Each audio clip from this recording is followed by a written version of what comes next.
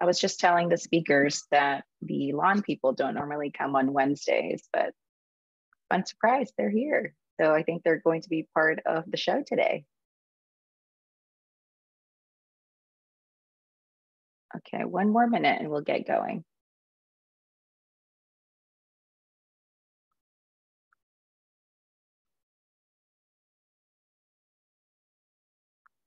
Hi, Kirsten. Hi.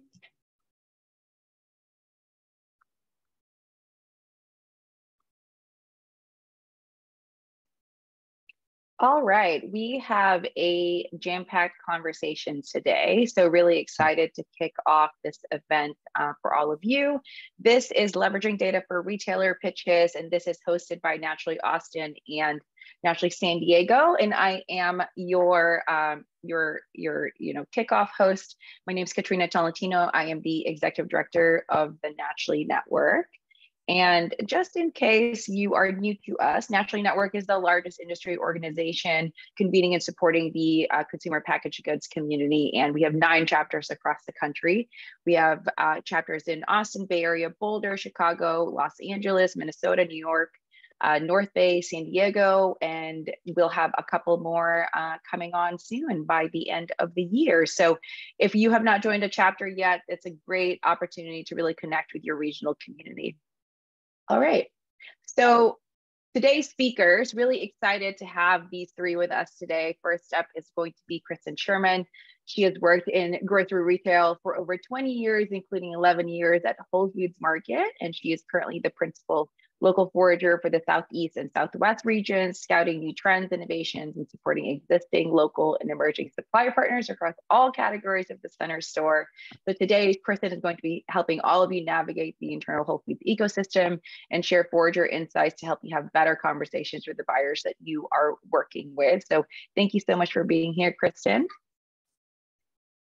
Next up is going to be Bobby Turner. Bobby has held numerous roles during his impressive 30 year run at Whole Foods Market and most recently as regional president. And during his career at Whole Foods, I think, Bobby, you have had, you've done everything from launched bakery operations to vice president. So I think, you know, you're also an active CPG advisor and Bobby is going to be the voice of the brand today as part of this conversation. So thanks so much for for joining us. And if you're wanting to see who Bobby is on, on your lineup of, um, of squares there, he's Bobby's the one with the lemons. And then last up will be Annie DeBenier. Oh, I got nervous, Annie. I already messed it up. DeBenier, uh, who is with NIQ. She is passionate about helping small businesses grow, and she's she's currently leading a team of sellers supporting center store emerging brands that have partnerships with NIQ. I know that that's a lot of you here. And he's worked with numerous brands across categories, providing data for growth and supporting brands like you along your journey. And she's going to show us um, reports on the NIQ Byzzer platform, which by the way, all of you naturally members get three free reports from. So we'll be dropping a link here in the chat for that. And as well as talk about creative ways to make your brand stand, stand out um, with data. So just a quick run through of the show today. Each of each one of our speakers is going to have a little bit of time to speak with all of you, share some insights, and then I'm going to turn it over to uh, Bobby to moderate the conversation. But this is really both a blend of webinar and a little bit of office hours because at the end of the day, we're here to support you, uh, our brand. So make sure to use that chat fun function and, and get your questions in. This is a great opportunity and a great group of, of experts that can, that can support you today. So uh, with that, I'm gonna go ahead and turn it over to Kristin.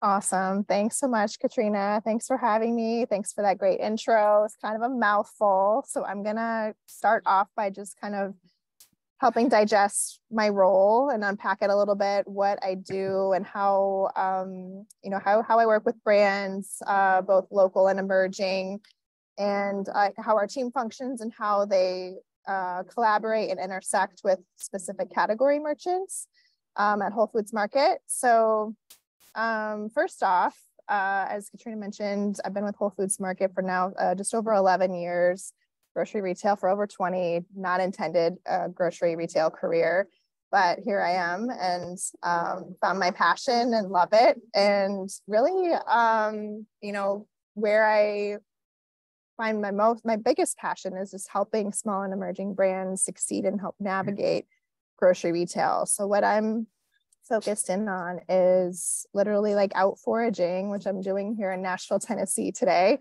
um, with my other team member uh, who sits in our Raleigh um, market. And we've got 10 foragers covered kind of throughout the country company wide and we're kind of um, you know filling in white space seeking innovation look, looking for new products and um, partnering really closely with category merchants to uh, source and support kind of those innovation pipeline and um, emerging brands and kind of getting a pulse on what's up and coming, coming in the um, CPG industry, primarily um, in center store, which is what we call for um, classify or how we classify grocery and whole body.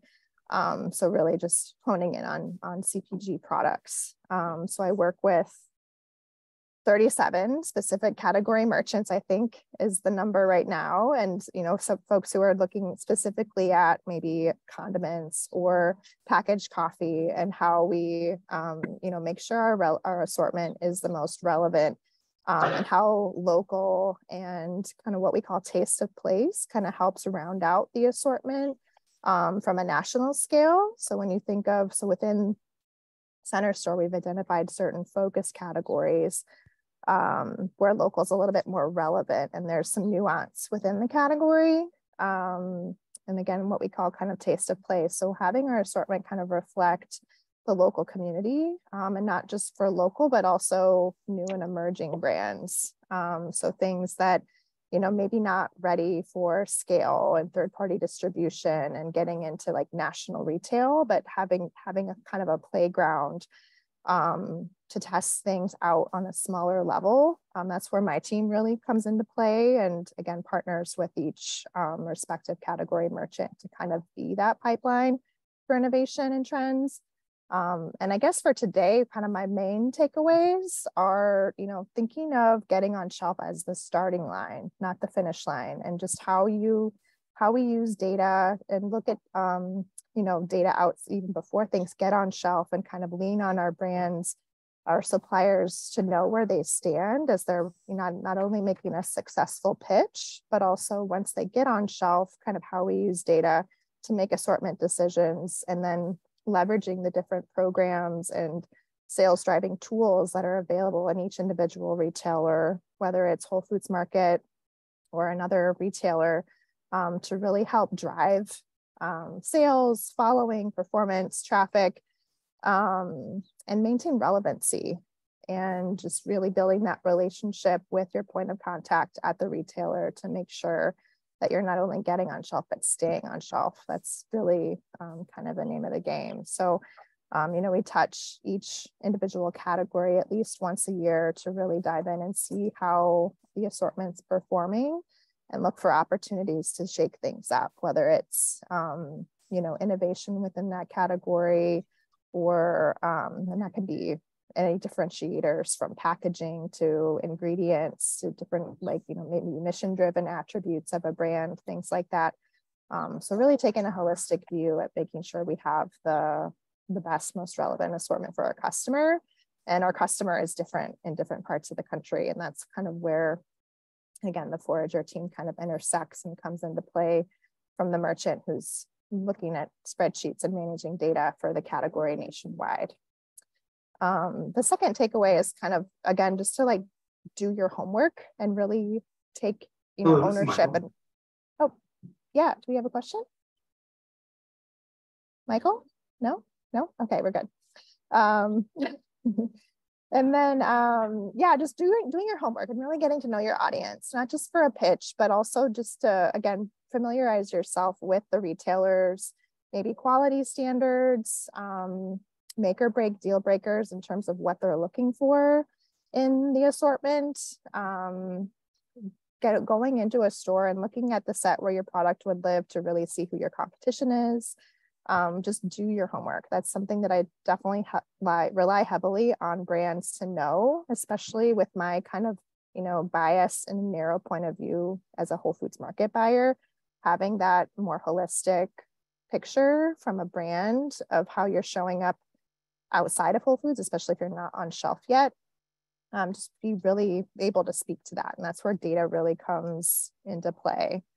Um, and then the last piece is, um, you know, again, just knowing where you stand and letting data kind of be your guide um, and utilizing tools to know where you stand. So with, um, you know, having that snapshot in time, Whole Foods Market, I believe, has a pretty unique um, vendor reporting tool available. But um, looking at category trends, and that's just performance on Whole Foods Market shelves, right? So knowing, like leveraging things like Nielsen IQ and other data resources um, to know where you're at holistically within your space out, outside of Whole Foods or whatever retailer, um, to know where you're at and really keep tabs on that and set and communicate your short and long-term goals with each individual retailer and buyer so you can really kind of work towards those goals together um, and just stay really engaged. I think one the one of the biggest mistakes I see brands make is coming to me um, and just kind of it's a check off the box and I, you know, they kind of move on to the next thing. I think, um, you know, I'm not only looking for new brands, but also kind of helping foster that early stage relationship on shelf and making sure they're familiarizing themselves with all the resources and tools that are available um, and having a successful launch so we can, um, you know, kind of grow from there together um, and not just be another number that, um, you know, there's definitely I, the part of my job that I love the most is the human element of the products we sell. There's always a story. There's always great passion, and you know, if uh, even better, something like a mission is always great too. Just knowing what a brand is about, since CPG is such a competitive industry, um, you know, how we can help um, share that, like tell that story, share that story, but also perform and and uh, earn that real estate on the shelf. All right, that was kind of my spiel, but I don't see any questions yet, but I'm happy to answer anything or we can move on to, to Annie's piece. I don't see any questions yet either, but I think Bobby, let's have you go next. I think you have been an advocate for brands and have worked with thousands of brands in your career at Whole Foods. Would love to get some insights uh, from you for this group. Yeah, no, thanks. Thanks, Katrina. And yes, I, I do have a love for bakery, um, even though it's been many moons. Um, yeah, I would say, you know, you know, I love what uh, Kristin kind of rolled out. You know, it, it is, it's, it's kind of like a relay race, you know, just getting on the shelf is the starting line. Even though you might be a successful D2C brand, or you might be, you know, successful in, um, you know, a different channel, but when you when you go go to retail, you know, it's really about, you know, really knowing the category, how the category is performing within that in that grocery banner, you know, knowing who your who's your, who's your competition within that, because not only do you need to have a strategy of how you're going to win in that category, but you also need a, a strategy on how you're going to win market share. Uh, I think that's one thing that brands really don't understand is really, you know, the you know kind of, you know, really establishing you know that market share within that category because the category could actually be down but you actually could have an opportunity to to to change that around and that you know what i would say would be a win-win-win for the buyer because the buyer's role is to really drive category growth and to drive category profitability and so it's really about setting up a, a plan to really do those and, and you you can't necessarily do that by taking your D2C strategy or or taking a strategy that you have from another channel and applying it to retail.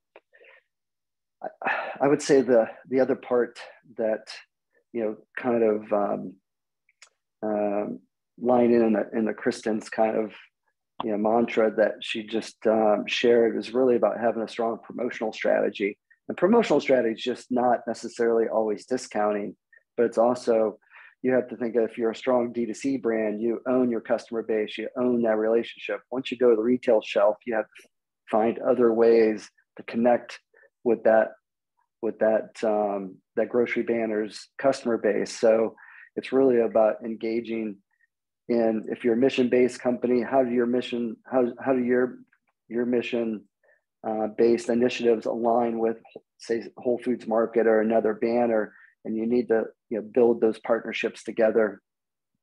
I think it's really important. I mean, I think what uh, Nielsen IQ and, and the Byzzer um, you know, program does is it really helps you know uh, brands kind of outline what you know how they're stack in in that category and how those differentiators are. So differentiators could be gluten free it could be you know women owned um, it could be you know regenerative ag but you really need to think about all those those different those those different things that your differentiators of your product and how those are going to align against your competition too and how that really aligns into your price point and your promotional price point that you're going to you're going to tackle because you don't want to come in super high in the category and you only you know drive movement when you're on promotion um, because then what you're going to do is you're only going to connect um, it's going to cost you a lot of money to, to, to run those promotions in that grocery banner and i would say you know probably the, the last thought that i have you know just around early stage brand you know early stage brands is, is really about knowing how much money it's going to take to go to retail. And how do you how do you leverage that your the dollars that you do to make you know get the most bang for your buck? Because you know going to retail is really expensive. And i just you know had a conversation with a brand last week and you know they have three they're in three different categories and um, I told them just go to the category that you know you can win because you know it costs so much money. If you know you you're in three categories and you're only going to win out of those three, then don't even go to the other two at this time.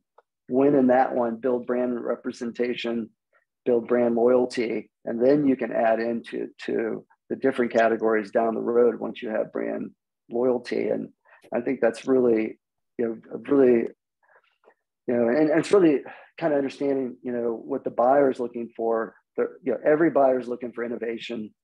Um, that's probably the the main comment right now on a buyer. If you don't have innovation, they're not going to listen to you, and they're not going to open your deck, and and they're just not looking for another thing. So you, you know, to to Kristin's earlier point, if you if you're a founder and you have a great mission and you're solving a problem, that opens one door. But you have other doors that you have to open. You have to really understand how you're going to win in that category and you know and really the the aspect of of the importance around discipline around that is just great data and really kind of coming back to really build a great game plan of what you're going to do to win in that category i think that's a good segue to go to annie it is. You guys stole a lot of my thunder with bringing data into your stories. So I appreciate that. Um, but great to meet everybody today. Um, as Katrina mentioned, I'm from Nielsen IQ. I specifically support um, our small and emerging brand division within Nielsen IQ, um, mostly focused on the Byzzer platform that Bobby had, had alluded to earlier. Um, I did drop that link where you can get three free reports into Byzzer, but I kind of wanted to go into, you know, Kristin and Bobby did a great job of why do I need the data? What do I need to bring? But what does that even look like? How do I get there? What do I need to to get there? And and and as Bobby said, it's expensive. What do those investments look like? And and that's really where Byzzer came into life. Um, it was launched in April of 2021, so still a relatively newer platform. Um, but it's it's intended to be that turnkey one-stop shop for small and emerging brands to grow into retail and beyond. So we've got really basic metrics that you're going to need to start with things like dollars, units, you know, promotion strategies, velocities, where you can really find those nuggets where you can be that category expert and and advise your buyers, here's where we need to make changes at shelf. Here's why you need to bring me in and where my brand is going to add that point of differentiation and increase your velocity, increase your your category growth. Um, and then beyond then, as you continue to grow into it, we can grow with you with more, um, you know, price elasticity data, things that get you a little bit deeper to now really be and solidify yourself as that category advisor for your buyers and for all of your retail partners. Um, so what does this even look like? Um, I wanted to just quickly show you what this Byzzer platform looks like, um, just to help conceptualize the tool and, and some of the insights that you can get out of it. So let me go ahead and share my screen. Can everybody see my screen that says my reports? We got some head nods. Awesome. So this is the Byzzer platform. Um, within the tool, you'll have three free reports. They'll all live in this templated reports. The purpose of this, this solution is to have that turnkey insight where you can get in make a few points and clicks. You don't need to be an industry veteran. You don't need to be an, an analyst. You don't need to have tons and tons of category experience to get some of those nuggets out of here. So one of the reports that you will have access to within the Byzzer platform of free script subscriptions is this category and brand trend report. So I pulled this for shelf stable ketchup. This is an area that Kristin's really focused in on for Whole Foods uh, market, the total market for Primal Kitchen. Um, just a fun brand to look at. They've got a lot of growth, but you know, sometimes we also hear, well, how do I even make impact if I'm competing against these big brands or or I don't have this story yet. How do I even get this buyer to pay attention when I'm competing against Primal Kitchen? Um, and there's always, always a nugget. It's just a matter of finding it. So we can see here really key, turnkey visuals. We've got KPIs across the top, a visual representation of sales by four weeks comparing the focus brand, which again is Primal Kitchen, to the total ketchup category, we can see where the focus brand is under or overperforming in the category. Um, really easily can drag and drop this into a deck and even bring it to a retailer. Hey, what happened in the weeks of 5, 6, 23? Um, where was where was the category dipping below the focus brand or vice versa? Um, and then we can even get down to even more granular data in here, looking at sales by weeks, seeing where those peaks are. Um, can even be used to replicate promotional strategies. Hey, this is where my competitors are promoting. Is this a good time to promote, or do I want to come take that and promote in opposite weeks? So we we are different than our com competition. Um, but as we go down looking at some item level data, this breaks it down into weeks as well. And we see a lot of green. I mean, that's great. We see green. Um, but where's our story? Where's our story? We scroll over and we see dollars are up, units are up, distribution is up, but velocity across the board is down. So could that be my golden nugget? Do I want to focus in on that? Um, there's always something that you can tell with this information. Um, so really just more so where you want to focus. And then one other piece that I really wanted to highlight within the tool, tons and tons of reports, but um, we also have a feature called stories. This is my personal favorite item within the database. This is, I like to call them like skeleton decks, ready to go. Make a few clicks, choose your brand, choose your category, choose your retailer, and it will actually spit out a deck ready for you. So here's a category review for Primal Kitchen, for Whole Foods. Um, obviously, you would want to do this for your brand. Um, you can do it across, you know, total US if you're not necessarily localized into specific retailers yet, um, or even can look at other brands to just get those nuggets, but can really find some some of those items without necessarily having to know where to look. Um, I love to just use these to find, okay, how am I performing or where is there opportunity um, to make those assortment and, and data recommendations. So really, really great visuals. I'm not going to bore you with 15 slides of different data points, but um, Byzzer is just a really, really great tool that can be used, you know, for a ton of different reasons, but but definitely to grow with you as you expand into retailer, um, into retailers. But just overall, my my shameless all plug is always that the data is the cornerstone of your retailer pitch. That's going to give you that depth of and, and trust within that those buyers. Being that category expert is so impactful to show that you know what's going on and show where you know where you would fit where would my pricing be? How do I differentiate? um, you know, am I a premium? Why? But knowing where you would fit in that category is what actually makes the impact. Knowing your brand and knowing your competition is really, really important in any of those pitches. Awesome. Thank you so much, Annie. I think, um, you know, one of the things that we've really enjoyed about our partnership with you all across all of the Naturally chapters is that, you know, getting access to data is one thing, but making that data bite size so that you understand what you're looking at and then being able to translate it into a deck or a story that supports your conversation that's incredibly powerful. So i'm, I'm really glad that that um, that you showed that. So i think for this portion of the chat i'm already or for this discussion i'm already seeing some questions here in the chat but i'm going to go ahead and turn it over to bobby to ask to get our, our questions started for the brands here but brands if you're in the audience please feel free to add your questions in the chat we'll, we'll call them out as part of this discussion. Yeah i think thanks katrina. Uh, i'll ask uh, kristin one question because I think it's really probably the one she gets the most, and uh, you know, it's probably one that a, a, lot of small brands, you know, have, and you know, it's you know, if you if you don't have great sales data yet, you know, what what should the conversations, you know, that the the brand should be having with you, Kristin, or the buyer, um, you know, to really, you know, to to to to get to that starting point of on the shelf. Yeah, that's a great one. Um, I think just identifying and owning and clearly communicating also efficiently because you might have 10 minutes or just a snapshot of time to really you know your elevator pitch just how you're going to add value to that retailer's assortment. Um, and we talked a lot about innovation and just to note on that like innovation doesn't have to be recreating wheels or calling a barbecue sauce something else but like um it could be differentiation in flavor profiles or quality ingredients or um, you know every everyone's i see a lot of folks i shouldn't say everyone making their grandmother's recipe of salsa and it's the best salsa uh, according to them.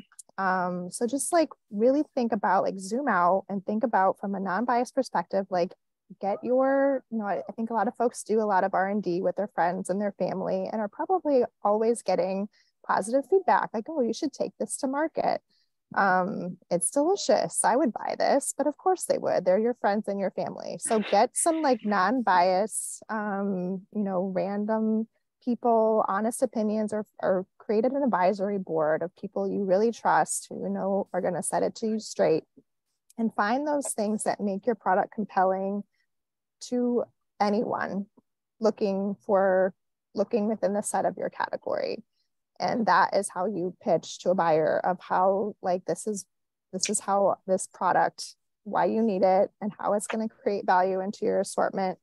And yes maybe it's not proven yet in the numbers um, but just really lean into that. And i think um, just touching a little bit too on channel strategy and just who your customer is and how you're going to invest in reaching that customer where they're at where are they shopping what are they looking for um, and you know it's it's easy to get distracted and just do you know take any opportunity that comes your way but you have limited bandwidth and being an entrepreneur is a hustle and so just being really strategic and how and who and when and where you're putting your product out there um, to really reach the right customer who's going to find it, appreciate it, buy it, and come back for more. Uh, thanks, thanks, Kristin. That's yeah. Go beyond your friends and family. That's for sure. Um, yeah. What, um, Annie, for you, what what kind of you know data you know would support those conversations based on what um, you know Kristin kind of just expanded on? Yeah, absolutely. So a lot of those metrics look like um, you know when you don't have the data you're not you know your brand is not represented in our you know whole foods total sample of of information. What what else is everybody else doing? How are your competitors growing? Who is growing? Who's not? Are there redundancies at shelf? Um, could you bring something new to the shelf? Um, new fresh you know, Kristin said innovation a lot of times, you know, that's oftentimes where we find the growth. So how can you bring something different to her shelf? Um, but really looking at, you know, redundancies, underperformers, um, you know, even if the category is growing, could this even, you know, think macro level sometimes too, even could this be a case where we expand our two foot shelf set? Could we be making a case to our buyer to say, hey, we need three feet in this in this set, four feet, and I'm mm. going to bring my brand and these other brands in that will continue to drive that velocity. No, that, no, that's great. Thanks, Annie. And I think, well, either Kristin or Annie, it's really about also, you know, how how is how's the brand going to add to the add value to that retailer's assort, assortment too, whether it's two foot or it goes to four foot. You know, I think that's always a you know compelling you know point that they need to make within you know their 10 or 20 minutes but they're not going to get Annie more, you know time with the buyer so they have a short period of time to actually really state that compelling statement so um, you know kristin or any what, what's your thoughts around making that compelling statement about um, you know to really sway the buyer of, about um, you know, winning in that category or really helping that category grow? Yeah, I can just, I will say, just showing, I, sometimes I'm looking at not only just a product, but the person behind it. So just how you're having ownership and acknowledgement of how you'll continue to stay engaged and, um, you know, not necessarily getting into details about trade spend, you know, in, in front of the conversation, but just I feel I just had kind of having having some intuition with how driven a brand is to really succeed and understanding that um, you know, it's a it kind of just like as, as we've said a couple of times, just is a marathon that kind of just escalates from day one, right? So just how you're going to maintain I mean, not if you if your goal is to maintain on shelf in the stores you launch in, that's one thing. But if you're wanting to grow, there's a question from Sam about metrics. Um, you know, there's just so much nuance in numbers these days with like cost of goods and pricing, um, promo strategies, things like that. But like velocity, sales per store selling, and units, not necessarily just dollars, but how like maybe you're just in five or a dozen or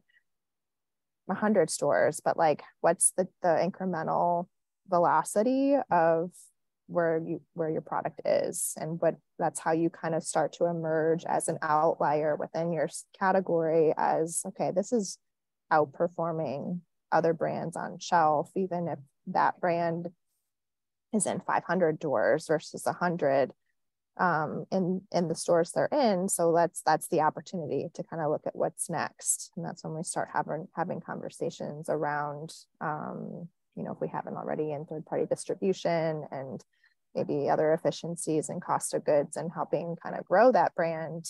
Um, but yeah, it's really uh, just how you're kind of adding value both in differentiation and just going to maintain and, and be a, a partnership. You know, I think sometimes as a buyer, you kind of get those squeaky wheels who are just, um, you know, emailing me every week and have questions. So I think there's a, a fine, delicate balance of being like independently, you know, doing the homework, um, being a good partner, and then knowing when to reach out and be like, hey, I'm stuck, or I noticed this thing, just really getting a gauge and having um, exemplifying how you're dialed in and taking ownership and responsibility to drive your own brand success because the retailer can't do that for you. We certain like retailers certainly have programs where we, you know, share um, initiatives to help bring awareness, you know, off shelf merchandising, signage, or other different kinds of programs to bring awareness and traffic to the brand. But when it's on, you know, an item and an eight foot set, um, what's what does everything look like in between? So just, um, you know, having that that dialed in awareness of how things are going and what um, what you need to be doing to kind of uh, activate and maintain, um, you know, different strategies and performance. Thanks, thanks, Kristin, for for that. One of the things that you said was really interesting is you know not recreate, not trying to recreate the wheel around innovation. And yeah. I do feel that, you know, sometimes a lot of people go through big lengths to recreate the wheel and try to make their product unique. And and this probably goes back to you know, your your marketing degree coming into use. But you know, what do you what do you what do you feel that you know for the brands that are on today that are really early you know stage you know what's going to be the most you know compelling um, part you know what the compelling points that they need to really you know communicate in their deck and their time with the buyer that might set themselves apart from you know the other 600 submissions that a buyer will get in a category review?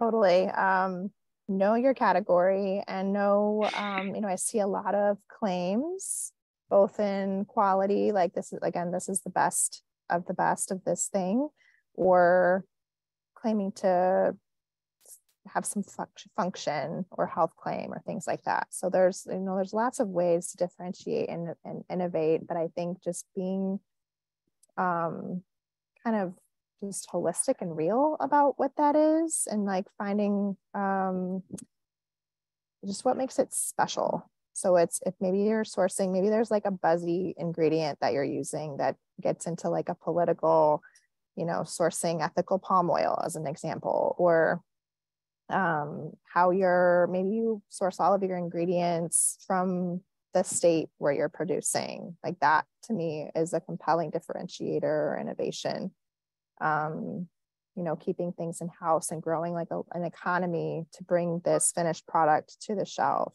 um, or maybe some other mission that's kind of tied to um, your product category. So, um, thinking of an example like like a candle maker employing at-risk youth, or um, you know, there's a lot of people making candles and soap out there, but um, how is this how is the purchase of this product making a positive impact on the community, um, whether it's local or national or, or, and that doesn't necessarily have to be something that's, um, you know, socialized on pack and like, tout, like advertised in a big way, but it's, it's still like makes you feel good as a buyer to know that um, I'm bringing this thing in and it's making a difference. And then ultimately the brand and this, you know, marketing strategy will then kind of um, do its job and speak to the customer in that same way where it just kind of grows organically from there that, you know, as a customer, you're looking at a set and you have all these choices. Like, um, like for me as, as a person and a consumer, I love trying new things and like the weird wonky ingredients and flavor for, for profiles like pineapple habanero hot sauce or whatever it is but not everybody's like that so like how other ways you can kind of stand out as a um, as a product and a brand to help just tweak that decision in some way to um, to any customer that's maybe just wanting to to feel good about their where they're putting their dollars.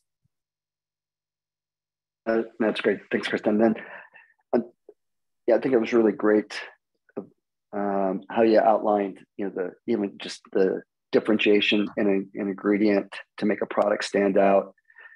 How do you see brands, you know, connecting with the, you know, with Whole Foods' customer? You know, how do they connect with the shopping behaviors of those customers looking for those brands? Because I think that's really where you know data comes in so valuable of really understanding of what are the trends, you know, whether it's ethically sourced or or regenerative ag? yeah, again, it's like a, a very tricky and delicate balance and tricky mix of like where like a, a picture of Venn diagram of like value, values, and quality.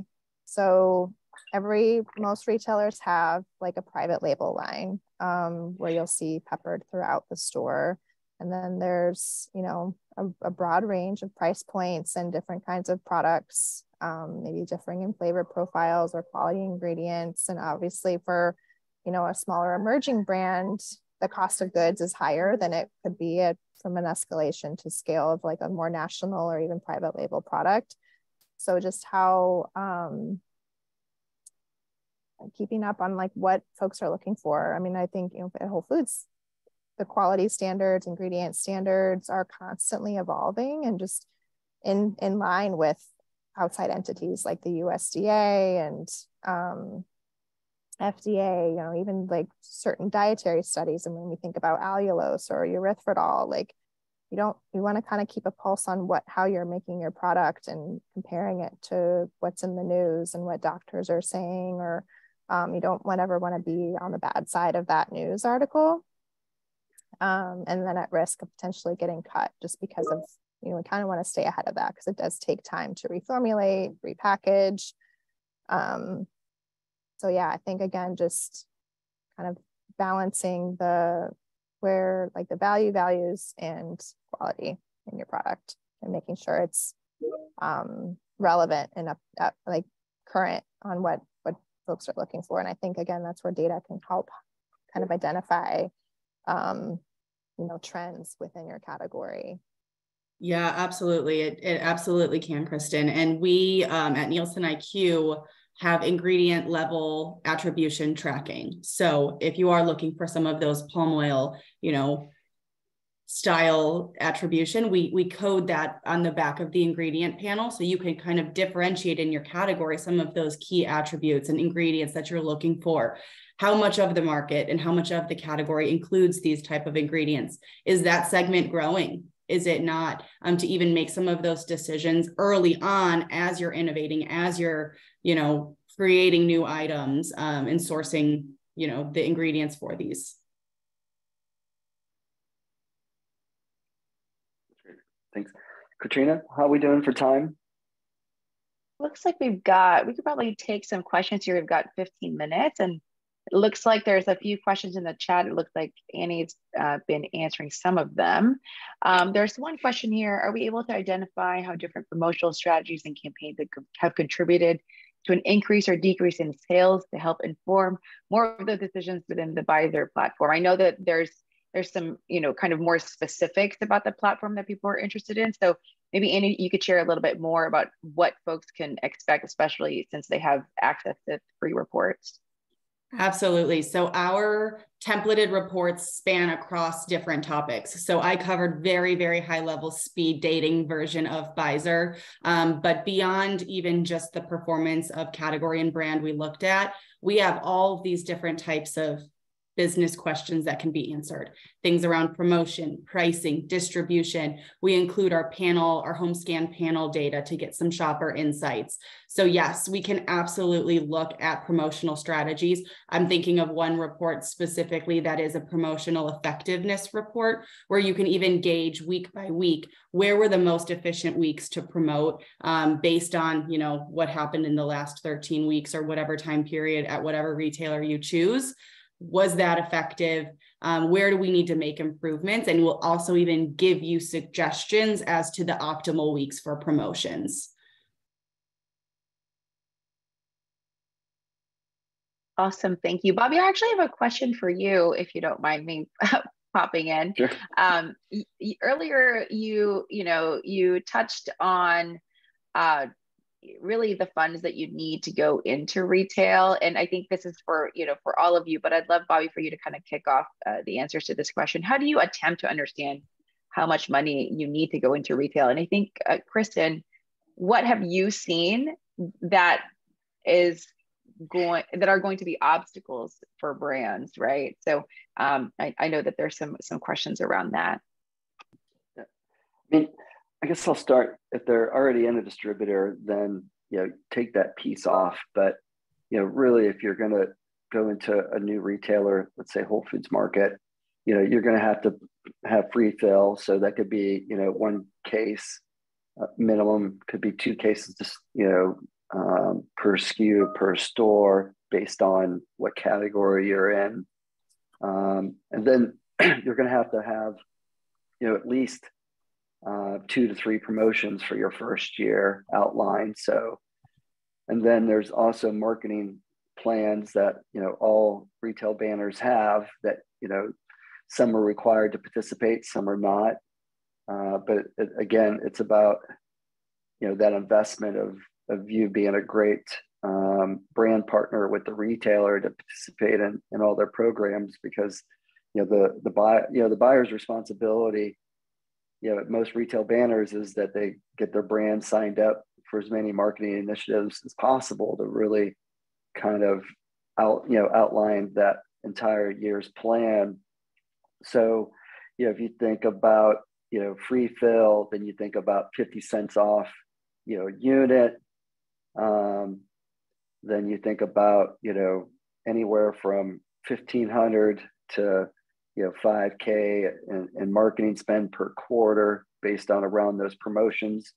You know so you could be you know easily talking you know 35k for your first year um, of just you know getting on the shelf. Yeah and just to riff off of that um, i think Trina, you asked about bobby spoke a lot about uh, up to getting on shelf and then thinking ahead in terms of what now and what to expect after that point. I think that's where I see brands maybe fall short a little bit in some and find some surprises. So reading contracts with any partner, whether it's an ingredient or like um, um, raw ingredient source or distribution partner or marketing firm for your branding, read your contracts um, and ask a lot of questions, be really curious, be really familiar.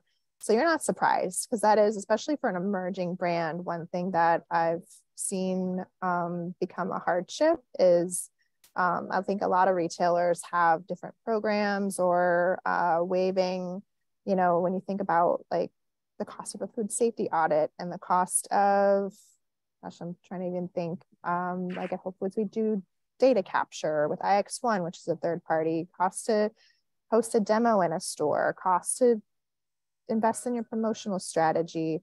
Um, yeah, just having that holistic view, asking questions. We've kind of gotten better at Whole Foods of, of laying out that groundwork up front and having like some toolkits so suppliers do know what to expect. Because I've worked, I've been in this role for over five years and I've worked the gamut of like lettuce growers to honey producers to like packaged protein powders that are in you know 100 doors. So it's like a, a, broad spectrum but everyone's kind of playing the same game in, in a matter of words. So um yeah there's definitely been some growing pains of like you know if one retailer maybe waives free fill or there's been you know some different kind of things to leverage the, the barriers to entry to get on shelf but knowing that that's not going to be the case forever, especially as a brand grows. Just really um, be aware and familiar with what those things are and plan for it um, and get ahead of it. So, you know, unfortunately with the pandemic or maybe maybe other factors, a lot of hangover there with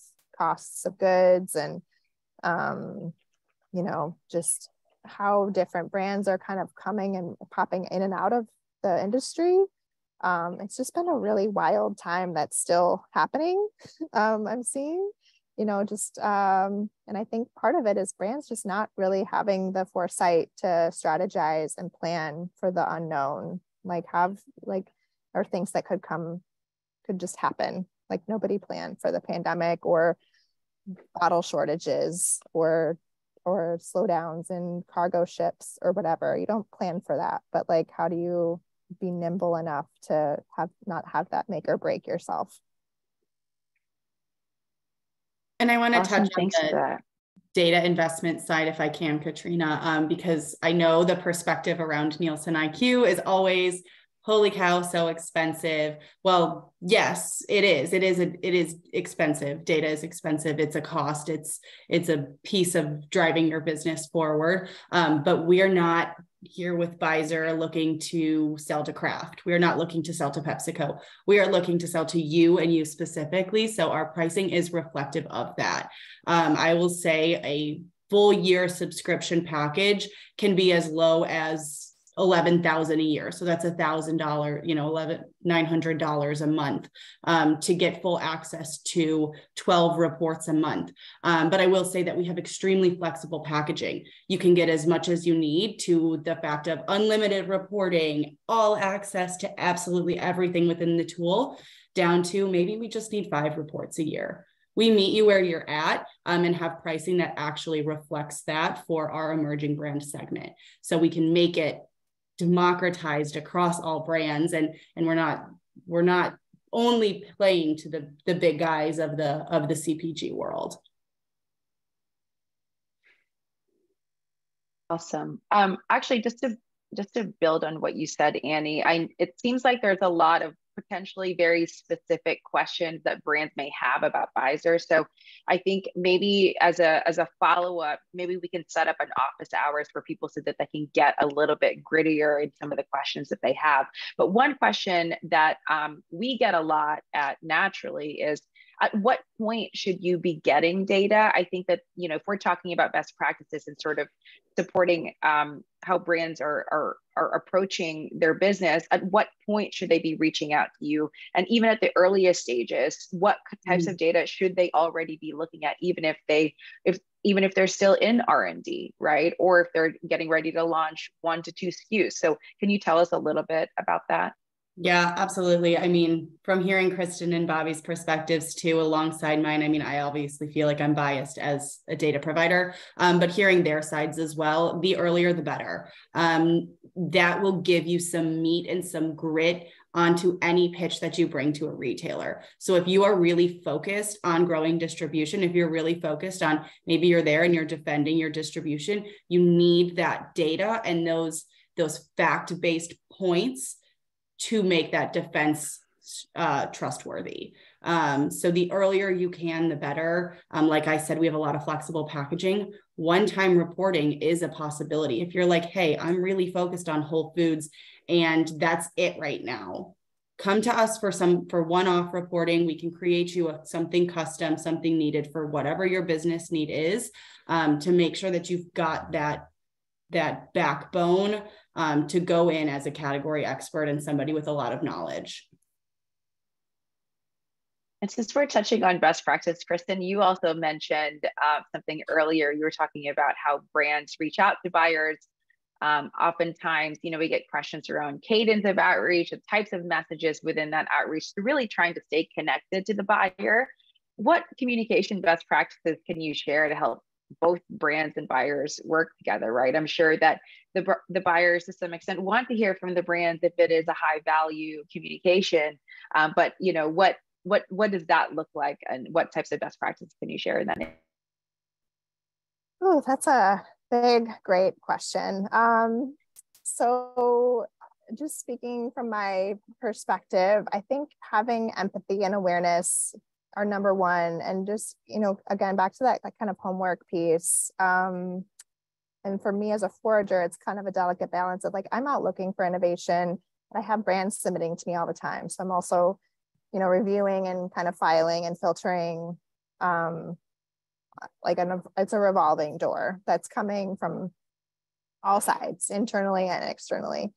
Um, but uh, I think most retailers have a version of a category review calendar, and that is a good thing to get familiar with um, because it's just knowing when, like, the right time and place um, to put your product in front of a buyer of when they're going to be when they're thinking about that category, especially if there's um, like myself as I'm more of a general um, like we we have like condiments reviewed in a specific time of year, but I'm I have a, like a focus category in every round and every month, and I'm just constantly looking for for new products. But knowing what's being reviewed and when, and when to submit, how to submit. Katrina shared the link to the supplier portal um, in the chat at the top. So find the version of that at um, each retailer you're interested in pitching. Um, but I also like to, even if I don't always respond, I also like to hear from brands when they're being featured in the news, or maybe there's been a new study released that is relevant to the brand that makes them, you know, they're getting some visibility on a broad scale. Um, I, I don't necessarily always come like find those on my own or come across them. I it's my life is a very blurred line of like work and personal life when it comes to food and beverage, but um, I love hearing from brands of how they're um, kind of in the spotlight outside of my day to day. And then, um, you know, keeping up with the buyer on what you're working on. Um, so like, let's say you've got three SKUs in stores, but you're R&Ding this this new thing and you're trying to enter into a new category, I love to know about those things and keep a pulse on it. So I've got it in my back pocket. Um, let's say, you know, we have the calendar, but maybe something um, for other circumstances is falling out of the assortment. And so I've got this thing that I can, I was like, all right, oh, I know what to fill that space with, and then have like a bank of things to pull from. But yeah, I mean, it's it's kind of a million dollar question that I don't have a great answer to, but just having some like awareness and empathy of just, um, you know, not being a squeaky wheel, but coming at the right time with the right thing at the right place um, to your buyer and just building that relationship and understanding that they, they have a lot of other things going on, so you might not get a response. Um, and I did want to address Ryan's question too, because um, it's a it's a really important one um, with lo- your local market. You know, we talked about um, you know R and Ding with your friends and family, um, and just how you can kind of organically grow a following from your home base. And I think that's a big piece with brands. You know, whether maybe you're manufacturing and self distributed in house, and you kind of just you have your hands on every process or piece of the piece of your brand's process. Um, but it's like sending a child off to college and like kind of you know you start to let go of that as you get you know your reins have to kind of loosen as you're spreading your wings and getting the brand out in front of you know kind of losing some control in some ways. So um, i think that's also where data can come into play of um, like I, I work with a lot of brands that maybe start D2C. And even though I'm buying for maybe like a specific set of stores or geographic area, knowing that a brand I'm connected with has a strong following in like the, the New York market or maybe the Oregon market, um, if you're you know shipping a lot of product out to those areas, I can easily ping my counterpart and be like, hey, look, this I like this brand, their customers in this other place on your plate or on your desk. Um, here you go. I think, you know, we can, there's a lot of internal things happening behind the scenes. So I think that's another great reason to have um, a strong relationship with your points of contact to, to present like where you can win and how they can help you. Yeah, awesome. And I think, Ryan, that's a great question for all of us to end on. So, Annie, I'd love for you to build on that and share what data brands should be looking at to go from regional to national. And I think Bobby, you know, I'm sure that there are a lot of brands that um, you're talking to and advising. What are some of the most common um, advice that you find yourself giving out? Right, everyone wants to grow and scale. So just wanted to end. I think that's a that's a great question. And also, Annie, why don't we why don't we start with you?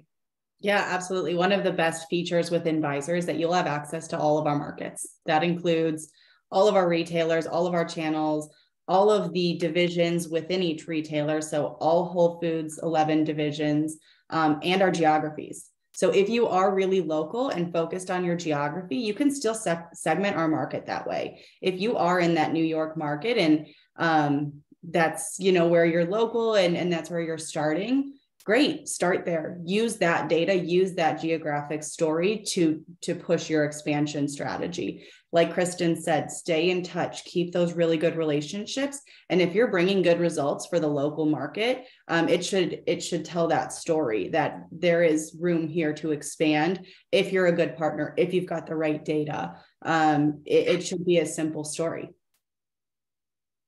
Yeah awesome. Thank you bobby. Yeah, that's a good point, and I would say velocity wins, and um, you could be in several regions. Um, it could drag down your velocity, and you could be you could actually be on the, the point of being cut from the category because you have two regions bringing down your velocity. And you have to figure out how to balance those and support those. You know, Kristin talked about demos and some other things, and there might be some things that you have to set money aside to do and certain regions do that but you know the the data that you'll need that data to really help you understand you know where where your your velocity is is being dragged down because at the end of the day um, you know velocity is going to win in, in any retailer but you know the buyers when they have such a big scope you know like i said early in the call you know they're responsible for category growth, which is velocity, and and and sales and profitability. So to be a good partner, you, you need both of those. You could you could actually be a great partner, you know, in sales, but you know, if if your margin, if they're not making the best margin on you, you're going to have to figure out a way to to to to reduce cost to get more profitable because they'll look for that next option to to fill you with uh, that will be more profitable. And so and then just really you know focus on the innovation of the category and making sure that you know as you're tackling velocity that you know all the competitors that are that are coming into the category across you know um, every grocery banner to really make sure that um, you're aware of that because you could be a um, you know you could be at the top and then you know a couple new companies come in with a lot of promotional money and can take away that velocity. So it's just really about always being aware never rest on your laurels and use the data. I'll leave it at that. Awesome. Thank you so much. This is such a high impact conversation. I mean i think we could go a whole a whole other hour and i know that i'm sure there's still more questions in the chat here. So just as a quick follow-up um, we'll, we'll go ahead and set up an office hours with the NIQ team since I think there's a lot of appetite for that. And if you enjoyed this event, I know that there's a heavy attendance here between San Diego and Austin. Um, but if you are um, in, in some of our other regions, check out the full calendar of all of the summer fun that's happening across all of the Naturally chapters. And then um, we're also going to be kicking off a mid-year trends update here next week. So more on that soon. But thank you so much to everyone for attending. And Kristin, Bobby, and Annie, thank you so much for your time. This is a great conversation. Have a great day, everyone. That's great. Likewise. Thank you, everybody. Thanks, y'all. Bye-bye. Take care.